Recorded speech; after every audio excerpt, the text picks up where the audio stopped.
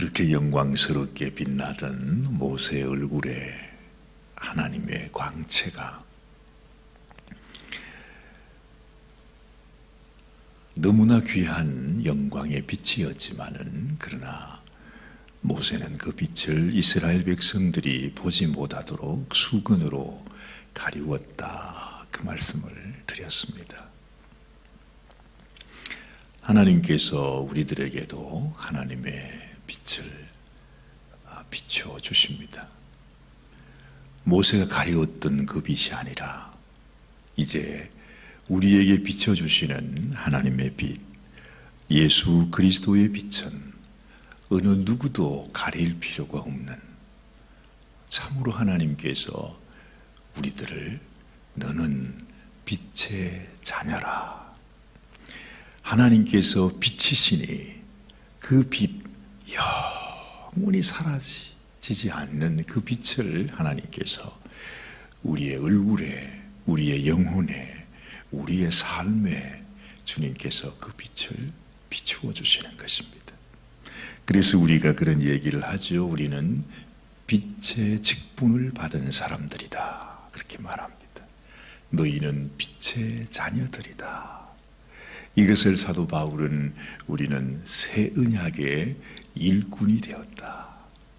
이 세상 그 어떤 직분보다 모세가 가졌던 그 직분보다 더 귀하고 더 영광스러운 직분이 우리 같이 미천하고 부족한 참 우리가 봐도 내 자신이 야 내가 이렇게밖에 안 되는구나 도대체 내가 하나님을 위해서 내가 뭘 할 수 있을까 우리가 봐도 한심한 모습이 우리의 모습인데 하나님께서 우리를 모세와 비교할 수 없는 그런 아주 영광스러운 하나님의 일꾼으로 세워주셨다 하는 사실을 지금 이 성경은 우리들에게 말씀해 주고 있습니다.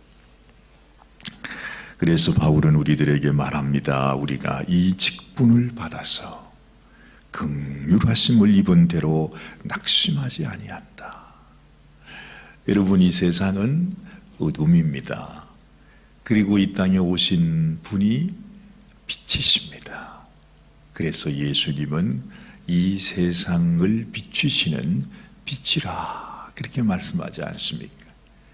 그래서 빛과 어두움의 싸움, 어두움은 어떻게 하든지 빛이 임하기 전에 우리의 인생을 멸망으로 이끌어 가고자 하고 또한 우리 주님은 당신의 생명을 바치는 하나님의 말로 다할 수 없는 그 사랑을 그 은혜를 우리들에게 비추어 주심으로 인해서 우리를 어둠 속에서 건져 주시는 것입니다.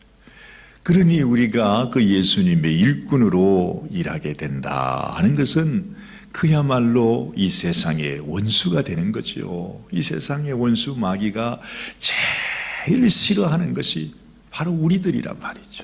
세상에 어떻게 하든지 내가 저놈을 죽여버릴까. 마치 예수님이 이 땅에 오셨을 때 이 세상 사람들이 예수님을 죽이려고 하고 예수님을 그렇게 비난하고 그냥 비판하면서 온갖 아주 아, 욕을 했던 것처럼 말입니다. 지금도 우리가 빛의 자녀로 살아가게 되면 이 세상 사람들은요, 하여튼 뭐 할 말 안 할 말 다 하면서 어떻게 하든지 우리가 실족하도록 넘어지도록 그렇게 만든다 하는 것이죠. 자, 한번 우리가 생각해 보면 여러분 예수님이 땅에 오셨을 때 빛으로 오셨습니다. 그런데요, 참 신기한 것은 그 예수님을 사랑하고 예수님을 좋아하고 그리고 예수님에게로 다가왔던 사람들이 있습니다. 물론 그 중에는 그냥 구경하러 온 사람도 있고 뭐 어떤 이유이든 간에 예수님이 가는 곳마다 수많은 사람들이 어떻게 어떻게 예수님 무엇이 그렇게 좋았던지 어쨌든 예수님을 뵈려고 나옵니다. 그 중에 예수님의 제자들과 그 이외에도 그 예수님의 사랑을 받고 은혜를 받고 주님의 만져주시는 그 놀라운 그 축복을 받은 자들이 많이 있지 않아요. 그죠? 예수님의 친구들입니다. 예수님을 사랑했던 사람들. 정말 예수님께 나아가기를 원했던 사람들. 정말 실제로 그들의 마음속에 저분은 메시아시다. 저분은 하나님이시다. 나를 구원하실 수 있는 분이다. 나를 구원하실 분은 오직 저분밖에 없다. 하는 그런 고백을 가지고 너무너무 주님 앞에 주를 사랑하는 마음으로 나왔던 그런 분들이 있었습니다. 근데 그와 반대로 그렇게 예수님을 싫어하는 사람들, 하여튼 어떤 구실을 삼았어도 예수님을 그냥 비방하고 책망하고 저놈은 죽일 놈이라고 저놈은 이단이라고 하여튼 하여튼 그렇게 모질게 모질게 예수님을 대적했던 사람들 또 있었잖아요. 참 신기해요. 그런데 가만히 보면 예수님을 비난했던 사람들은 하나님을 잘 안다고 하는 사람이었습니다. 하나님을 잘 섬긴다고 하는 사람들. 하나님의 말씀대로 산다고 하는 그 사람들이 예수님을 대적하는 사람이 되었고, 하나님을 안다고 말할 수 없는 너무너무 비천하고 못나고 무식하고 가난하고 정말 고통 속에서 마치 예수님이 부자와 나사로 예를 들 때 그 나사로처럼 그 부잣집 문 앞에서 엎드려서 온 몸에는 흔대를 앓고 상처를 입으면서 그 추운 겨울에 옷도 제대로 입지 못하고 거기에서 쓰레기통을 뒤지면서 배를 채워야 했던 그 나사로 같은 사람들. 그런 두 종류의 사람들이 있더라는 것입니다. 그렇죠? 예수님께서 아 그들을 향하여 이들은 나의 친구라. 예수님께서 이들과 함께 먹고 마시고 즐기며 그들의 친구가 되어 주셨던 그 주님의 마음. 왜 그랬을까요? 자기를 향하여 나오는 그들이. 주님은 너무너무 얼마나 대견하게 생각했겠어요. 저렇게 불쌍한 인생이지만은 자기를 알아보고. 아니, 다 알지 못한다 해도 그래도 하여튼 본능적으로 예수님이 좋아서 나오는 그 사람들. 예수님은 기꺼이 그들의 친구가 되어 주세요. 그들을 만져 주세요. 그들을 치유해 주세요. 그들에게 하늘의 소망과 하나님의 사랑과 하나님의 빛을 그들에게 비춰주신 것입니다. 그런데 예수님께서 그 바리새인과 서기관들, 율법학자들을 향하여 얼마나 모질게 또한 책망하십니까? 이화 있을 진저 바리새인과 서기관들이라 회칠한 무덤들이라 이 지옥 갈 놈들이라 모든 교인들을 다 불러서 다 지옥으로 인도하는 사람들이 내 놈들이라고 그침없이 주님께서 책망하셨던 걸 보는 것입니다. 이제 며칠 우리가 자선 냄비를 했죠. 여러분들이 자선 냄비 나가 있으면 저는 교회에서 있을 수가 없어요. 이 따뜻한 교회에서 앉아 있다 보면 나가서 자선남비 총을 치시는 여러분들이 생각이 나서 차마 제가 여기에 혼자 있을 수가 없어요. 그래서 내가 더 열심히 내가 총을 쳐야지. 그래서 저도 이제 나가는데 어제도 날씨가 많이 추웠잖아요. 아이고 바람이 막 얼마나 많이 부는지요. 이 자선 냄비가 그냥 자꾸 넘어지려고 그래가지고 한 발로는 자선 냄비 그 발판을 밟고 손으로 붙잡고 그래가지고 이제 크게 종을 치는 거예요. 아 얼마나 추운지요 정말. 아직까지 내 입은 옷은 여름 옷인데 아, 내복이 필요하겠구나. 이제는 춥네 그런 생각이 아유 들었어요. 그런데 종을 치고 인도라면 사람들이요 한 100명이 지나가면 글쎄요 한 두세 명 넣으실까? 막 그 정도예요. 근데 100명이 지나가면 한 분 지나갈 때마다 인사는 한 서너 번은 하잖아요. 그죠? Happy Thanksgiving, God bless you, have a nice day. 하여튼 미니멈 세 번은 하잖아요. 그죠? 뜻이 축복하고 인사하고 하는데 이 사람들은 본척만척 아주 마치 벌레 보는 것처럼 그렇게 지나가는 사람도 있고 하여튼 별하별 종류의 사람이 있어요. 그런데요 이상해요.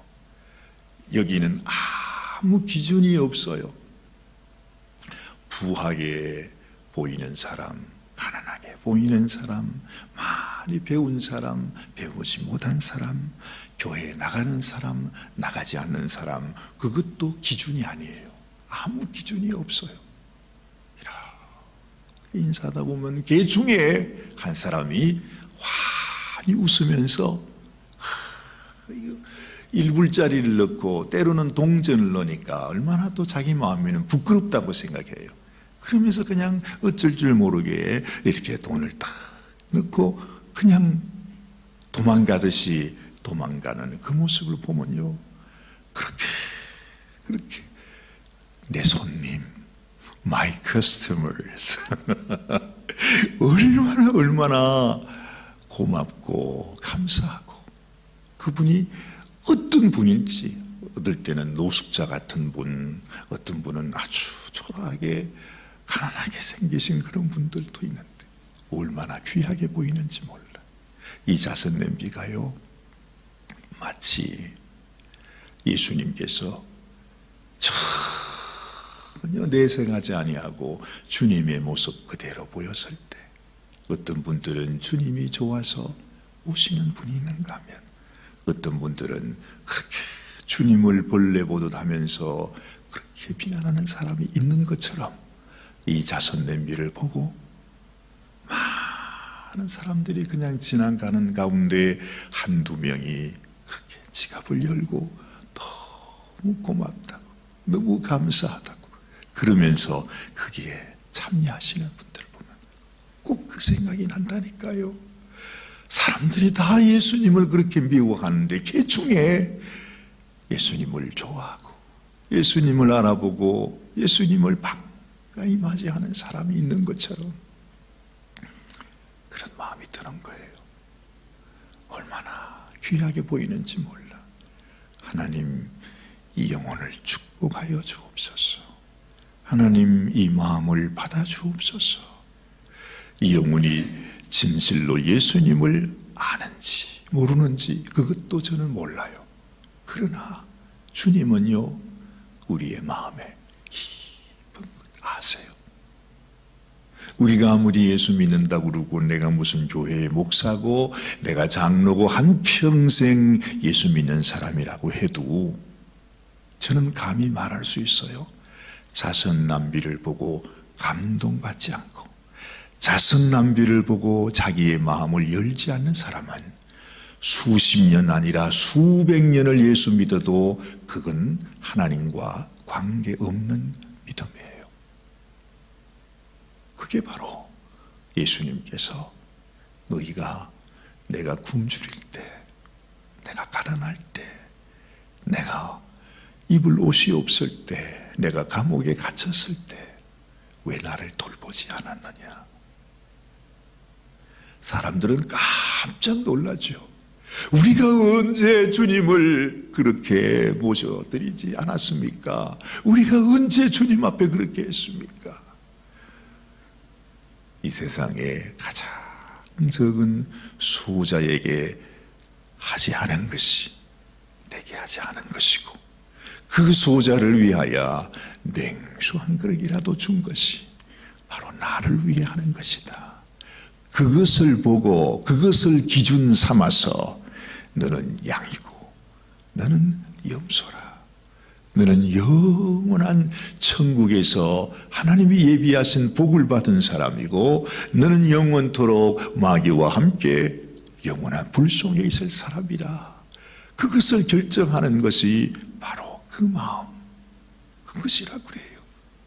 우리가 예수님을 믿는다 하는 것은 바로 예수님 안에 있는 빛, 주님이 비치시고자 하시는 영광의 빛을 내 마음속에 받아들이는 거죠. 그래서 사도 바울은 말해요. 우리가 주님의 일꾼이 된 것은 빛의 일꾼이 되면 낙심할 일이 많다. 왜 세상 사람들이 싫어하니까 세상 사람들이 나를 욕하니까요. 마치 벌레 보듯이 우리는 취급받을 수밖에 없으니까. 그러나 우리의 귀한 이 직분, 이 영광, 주님이 내게 비추어 주시는 이 빛은 너무너무 영광스러운 것이기 때문에 우리가 하나님의 일꾼으로, 하나님의 자녀로, 우리가 하나님, 내가 세상에서는 이렇게 욕을 먹어도 괄시를 당해도 내가 더 주님 앞에 가까이 나가기를 원합니다. 하는 그런 마음을 갖게 된다. 이것이 바로 사도 바울의 생각이었다 하는 것입니다. 이런 우리의 마음의 깊음 속에 있는 하나님을 향한 양심, 이것이 우리가 주님 앞에 나갈 수 있는 주님의 일꾼으로 내가 주님을 위하여 섬깁니다 하는 그 증거가 될 수 있다 하는 것입니다. 만일 우리 복음이 가리웠으면 그래요. 하나님께서 우리에게 이 놀라운 빛, 이 복음을 하나님이 다 똑같이 비춰주잖아요. 그런데 만약에 그 복음이 내 마음속에 받아들여지지 않고 그 하나님의 빛이 내 마음속에 감동으로 다가오지 않는다면 그 사람은 오직 누구지요? 그 사람은 사도 바울이 이렇게 말해요. 망하는 자들이라. 망하는 자들이라. 바로 그게 아 하나님께서 나를 택하지 않은 사람이 있다면 하나님의 빛 앞에서 반응하지 못하는 사람 바로 이런 사람입니다. 그 중에 사절 말씀 이 세상 신이 악한 마귀가 말이죠.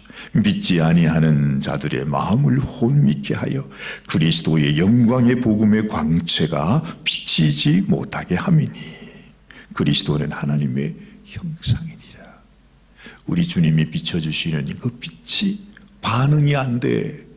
주님께서 우리에게 보여주시는 그 사랑의 빛, 영광의 빛이 조금도 내 마음속에 그게 뭔지 깨달아지지도 않고 감동도 되지 않고 그렇단 말이지. 안타깝게도 마귀가 우리의 마음을 혼미케 해가지고 하나님의 복음의 빛이 내 가운데 들어오지 못하도록 그렇게 하는 망한 자들이라는 것입니다. 이 세상에 가장 불쌍한 자가 누구입니까? 주님이 복음 앞에 내 마음에 반응이 안 되는 사람, 자선 남비를 보고도 내 마음속에 조금도 마음의 움직임이 없는 사람, 그 사람은 잘난 사람이나 이 세상에 무슨 부한 자가 아니라 가장 불쌍한 망한 자가 되는 것입니다.